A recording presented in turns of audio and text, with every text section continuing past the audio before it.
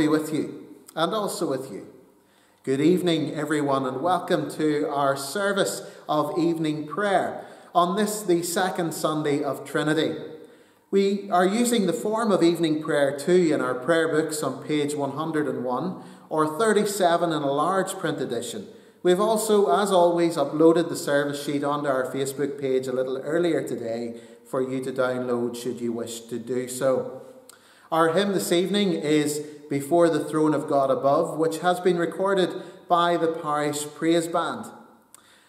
On Tuesday evening, our Bible study is at 8 o'clock, and on Wednesday evening, the prayer meeting is also at 8 o'clock. And for both of these meetings, we use Zoom, and you'd be welcome to join us for that. If you'd like to join us, then send us an email to standrewskillyman at gmail.com and we'll forward you the link to enable you to join in in those meetings.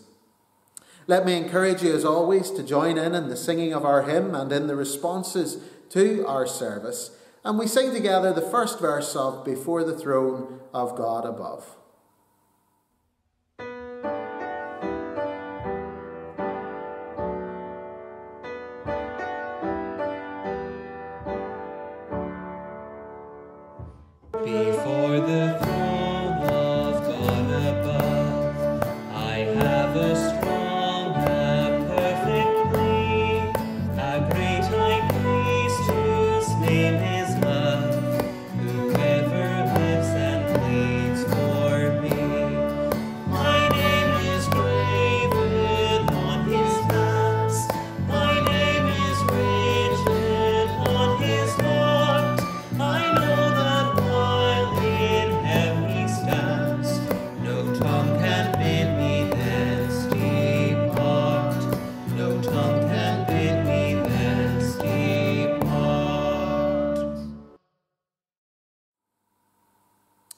Beloved in Christ, we come together to offer to Almighty God our worship and praise and thanksgiving, to confess our sins and to receive God's forgiveness, to hear His holy word proclaimed, to bring before Him our needs and the needs of the world, and to pray that in the power of His Spirit we may serve Him and know the greatness of His love.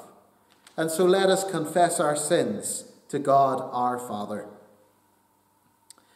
Heavenly Father, Heavenly Father, we have sinned against you and against our neighbour in thought and word and deed, through negligence, through weakness, through our own deliberate fault, by what we have done and by what we have failed to do. We are truly sorry and repent of all our sins. For the sake of your Son, Jesus Christ, who died for us, forgive us all that is past, and grant that we may serve you in the newness of life to the glory of your name. Amen.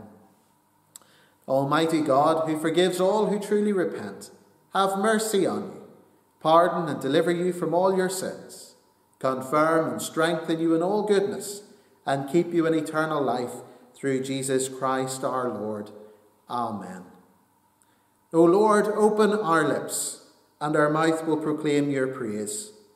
O God, make speed to save us. O Lord, make haste to help us.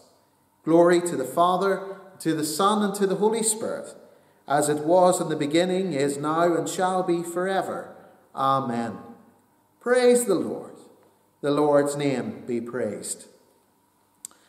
Our psalm this evening is Psalm 100. You'll find it on page 706 of the prayer books or on the order of service. And we say the psalm in alternate half verse, Psalm 100. O be joyful in the Lord, all the earth. Serve the Lord with gladness and come before his presence with a song. Know that the Lord is God. It is he that has made us, and we are his. We are his people and the sheep of his pasture. Enter his gates with thanksgiving and his courts with praise. Give thanks to him and bless his name. For the Lord is gracious, his steadfast love is everlasting, and his faithfulness endures from generation to generation. Glory to the Father, and to the Son, and to the Holy Spirit, as it was in the beginning, is now, and shall be forever. Amen. We'll now have our scripture reading.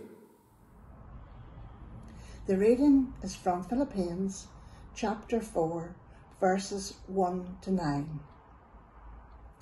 Therefore, my brothers, you whom I love and long for, my joy and crown, that is how you should stand firm in the Lord, dear friends. I plead with Euodia and I plead with Syntyche to agree with each other in the Lord. Yes, and I ask you, loyal yokefellow, help these women who have contended at my side in the cause of the gospel, along with Clement and the rest of my fellow workers, whose names are in the book of life. Rejoice in the Lord always. I will say it again, rejoice. Let your gentleness be evident to all. The Lord is near. Do not be anxious about anything, but in everything, by prayer and petition, with thanksgiving, present your request to God. And the peace of God, which transcends all understanding, will guard your hearts and your minds in Christ Jesus. Finally, brothers, whatever is true, whatever is noble, whatever is right, whatever is pure, whatever is lovely, whatever is admirable, if anything is excellent or praiseworthy, think about these things. Whatever you have learned or received or heard from me or seen in me, put it into practice, and the God of peace will be with you. This is the word of the Lord. Thanks be to God. I invite you to join with me in proclaiming our faith using the words of the Apostles' Creed. I believe in God. I believe in God, the Father Almighty, creator of heaven and earth. I believe in Jesus Christ, God's only Son, our Lord, who was conceived by the Holy Spirit, born of the Virgin Mary, suffered under Pontius Pilate was crucified, died, and was buried. He descended to the dead. On the third day he rose again. He ascended into heaven. He is seated at the right hand of the Father, and he will come again to judge the living and the dead. I believe in the Holy Spirit, the holy Catholic Church, the communion of saints, the forgiveness of sins, the resurrection of the body, and the life everlasting. Amen. The Lord be with you, and also with you. Let us pray. Lord, have mercy. Christ, have mercy. Lord, have mercy. Our Father, who art in heaven, hallowed be thy name. Thy kingdom come. Thy will be done on earth as it is in heaven. Give us this day our daily bread, and forgive us our trespasses as we forgive those who trespass against us. And lead us not into temptation, but deliver us from evil. For thine is the kingdom, the power, and the glory, for ever and ever. Amen. Show us your mercy, O Lord, and grant us your salvation. O Lord, save the Queen, and grant her government wisdom. Let your ministers be clothed with righteousness and let your servants shout for joy. O Lord, save your people, and bless those whom you have chosen. Give peace in our time, O Lord, and let your glory be over all the earth. O God, make clean our hearts within us, and renew us by your Holy Spirit. Let us pray. The collect of today, the second Sunday after Trinity. Lord, you have taught us that all our doings without love are nothing worth. Send your Holy Spirit and pour into our hearts that most excellent gift of love, the true bond of peace and of all virtues, without which whoever lives is counted dead before you. Grant this for your only Son, Jesus Christ's sake. Amen. We say together the third collect at evening prayer. Grant, O Lord, that the word which we hear this day may so take root in our hearts that we, living in accordance with your holy will, may ever praise and magnify your glorious name through Jesus Christ our Lord. Amen. We now have our intercessions, and then we will sing together the second verse of our hymn, Before the Throne of God Above. Let us pray to God who always promises to hear our prayers. Lord of the harvest, send labourers to our church to proclaim your kingdom. Stir up vocations to the ordained and lay ministers of your church. Bless John, our Archbishop, and pour out your Spirit upon our parish. We ask for your wisdom and grace to fall on Reverend Mark as he continues to lead us in these strange days. Strengthen the whole community of faith to live and announce your glory. Lord, in your mercy, hear our prayer. Lord of the world, inspire men and women into political service. Transform the unjust structures of society that all may have cause for rejoicing. We pray for all our political leaders in Westminster, Stormont, and local government. Help them in the decisions they make which affect our daily lives. Bless Elizabeth, our Queen, and we thank you for her faith and commitment to you. Lord, in your mercy, hear our prayer. Lord of hospitality, as Abram welcomed strangers and received your blessing, help us to realise the needs of the community around us. Give us the ability to bless others in your name. Lord, in your mercy, hear our prayer. Lord of healing, we pray for those who are ill at home or in hospital, for those who are ill as a result of COVID 19. We ask that you lay your healing hand upon them. We also pray for those who are bereaved and ask that ask for you to comfort them in their time of need. Lord, in your mercy, hear our prayer. In a moment of silence, we bring our own prayers to God.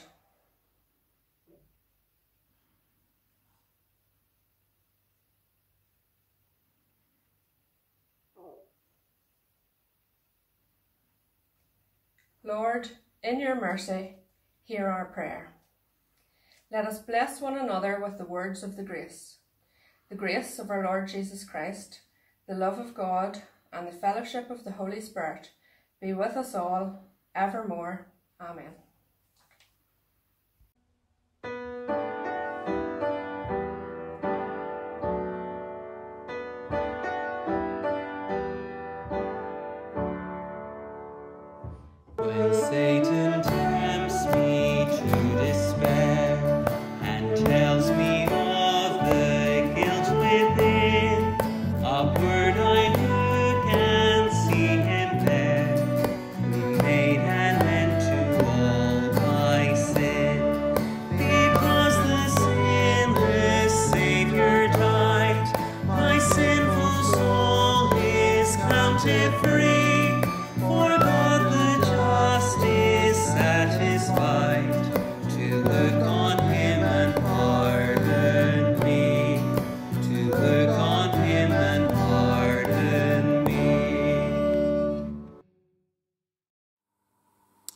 Let us pray.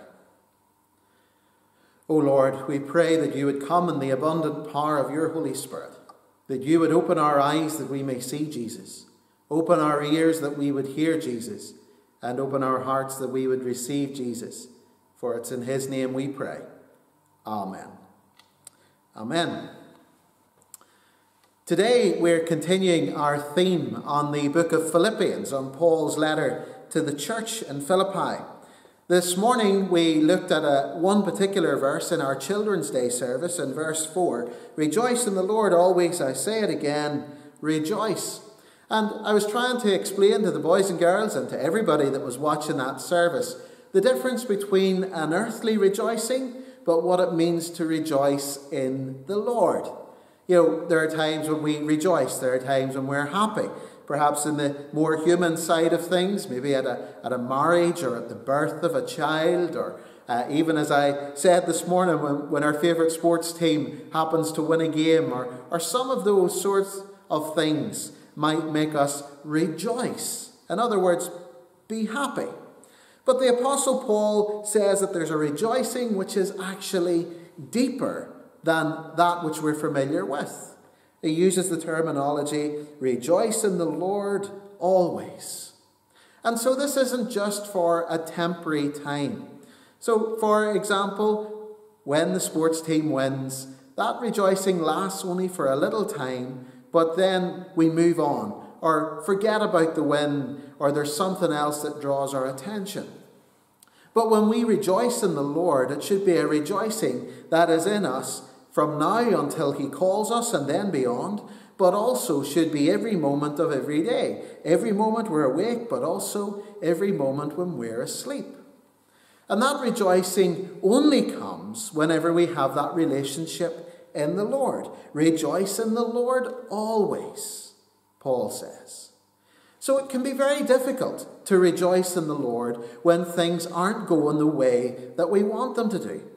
Like for many people over this last number of months, it has been difficult to rejoice all the time, rejoice always, because of restrictions that COVID 19 has placed upon us, or because even of how it has affected you and me individually in a personal way. But we need to rejoice in the Lord always. And that comes through having an inner peace that the Apostle Paul goes on to talk about. In verse 7, he says, And the peace of God, which transcends all understanding, will guard our hearts and minds in Christ Jesus. So, Paul not only tells us to rejoice in the Lord, he tells us that there is a peace in the Lord that is a peace which guards us, it protects us, it protects our hearts and our minds. The heart is where we asked in simple childhood faith the Lord Jesus to live, and the mind which controls our body. And we need to, as the Apostle Paul writes in another one of his letters, renew our minds. In other words, think in the way that Jesus would want us to think. That's why I often pray at the start of sermons Lord, open our eyes that we would see Jesus. Open our hearts to receive Jesus. Or we sometimes also pray, Lord, take my lips and speak through them, take our minds and think through them. We want Jesus to control our whole being and to be in the center of all that we do. Rejoice in the Lord always and the peace of God, which transcends all understanding, will guard our hearts and our minds. But this is only possible by being in a living relationship with the Lord Jesus Christ, by living daily and dying daily for Him. And what do we mean by that? How can we live daily but also die daily? Well, let's look at that just for a moment. To live daily means that we have to die to ourselves. To live daily means that we have to do everything that Jesus wants us to do, that we live our lives for Him. But in order to do that, we have to die to ourselves. In other words, put away the own selfishness that's within us our own selfish behavior, our own human desires to want to do things my way, but actually learn to live for Christ, to die to self. And when we do this, then the peace of God guards our hearts and our minds.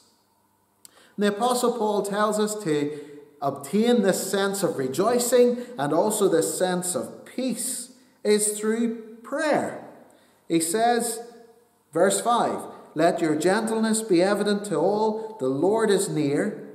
Do not be anxious about anything, but in every situation, by prayer and petition with thanksgiving, present your requests to God. So, in other words, in everything, we need to be praying. Not just at meal times, not just at night when we go to bed, Not just first thing in the morning whenever we waken, not just whenever we feel that we need to send up, as we call them, an arrow prayer, but we actually need to be praying to the Lord in everything. So, yes, before we get out of bed in the morning, before we eat our meals, the last thing we do at night, but also continually throughout the day, committing every task to the Lord, praying in every situation. But Paul says, not just giving God our shopping lists, he says, with thanksgiving. In other words, thanking God for what he has already given us and also thanking him for what is to come, for what is ahead. I thank you, Lord, for bringing me safely through the night. I thank you for the day that is ahead of us, and I commit that day into your keeping. Perhaps you could pray first thing in the morning. And when we soak ourselves and every action, every situation, as Paul describes it, in prayer and petition, then the peace of God begins to flow through us. And that peace allows us to rejoice in the Lord always. Because we experience for ourselves what it means to be in a full relationship with the Lord Jesus Christ. Verse 8 on, verses 8 and 9, Paul then goes on to give a challenge.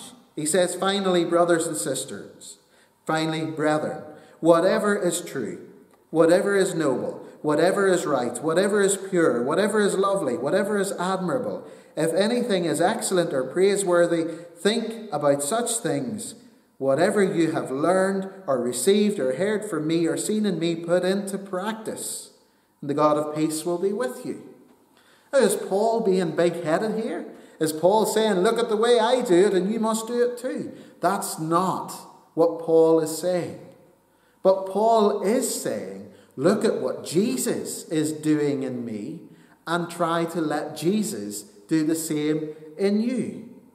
And he says, as a result of all that, again, this word peace, the peace of God, will be with you.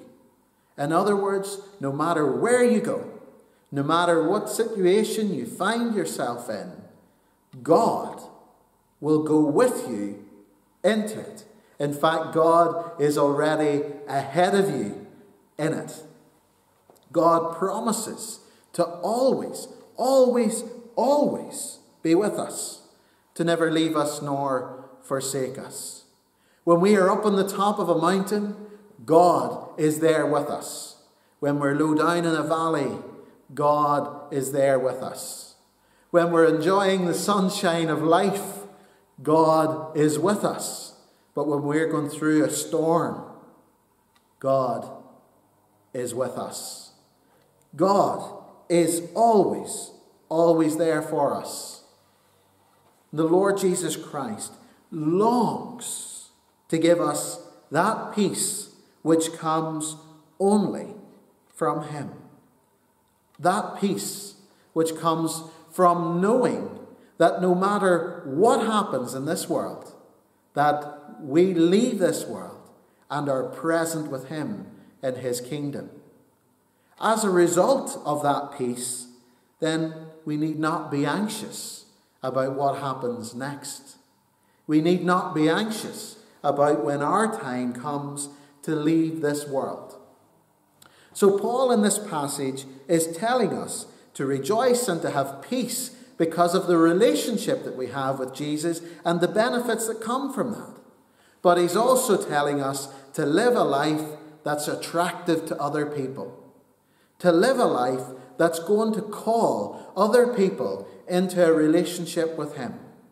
So that when other people see how we live, me as an individual, you as an individual, we as a church, as individuals and as a body, they will want to be a part of it and so enter into a relationship with Jesus as well, seeking Him in all that they do as well as us. So let me encourage you this evening as I come to a close, these few simple little verses. Let me encourage you to rejoice in the Lord always. No matter what you're going through in life, rejoice in the Lord. Turn the frown into a smile. But let me also encourage you to experience wholeheartedly that peace of God which transcends all understanding. In other words, that we can't describe. Words fail us when we describe the peace of God. That is only possible by having a relationship with Him. And so let me ask you one further question tonight, as we've asked so many times in the past. Are you in a relationship with the Lord Jesus Christ? Do you know Him as your own personal Saviour? Do you experience that peace that transcends all understanding because you know that when your time comes to leave this world, that you will be with Him in His kingdom forever? Let me encourage you if you know and love Jesus, to live the life that He calls you to live. And if you don't yet know Him, to experience Him in your life and invite Him to be your Saviour. May God's name be praised. Let us pray. Father, we thank you for your message to us and for the teaching of the Apostle Paul. We thank you for this chapter and for these few verses. Lord, help us to continually rejoice in what you're doing in our lives and help us to always experience, but not only experience, to recognize that peace that comes from you. For we pray this in Jesus' name. Amen. And the peace of God, which passes all understanding, keep your hearts and minds in the knowledge and love of God and of His Son, Jesus Christ our Lord the blessing of God Almighty, the Father, the Son, and the Holy Spirit be with you and remain with you always. Amen. Thank you for joining us this evening. I'm delighted that you've done so. And so we sing together the last verse of our hymn, Before the Throne of God Above. And stay safe, keep praying, keep praying, and stay safe.